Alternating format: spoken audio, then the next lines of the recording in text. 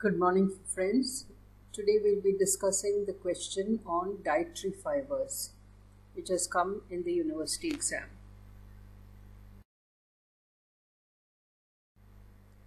So, the type of question which has come is What are dietary fibers? Give examples, mention their significance.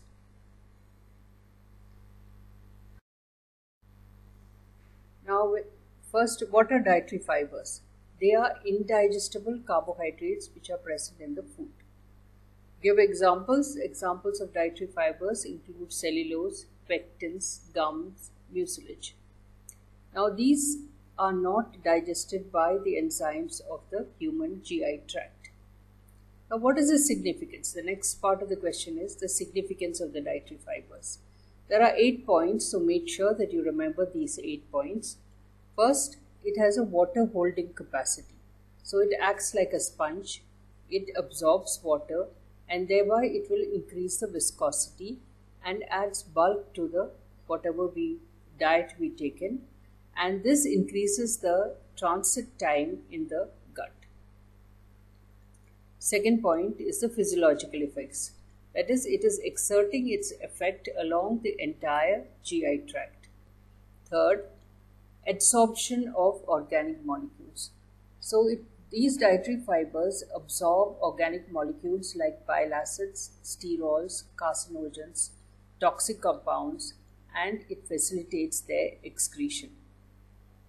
Fourth point, it increases the bulk of the stools and thereby it will reduce constipation tendencies. Fifth point, it has a hypoglycemic effect. That is, it improves glycemic control, it uh, increases glucose tolerance and sensitivity to insulin, and it has a beneficial effect on diabetics. Sixth point, it has a hypolipidemic effect. That is, it reduces the plasma lipid levels it decreases the absorption of dietary cholesterol.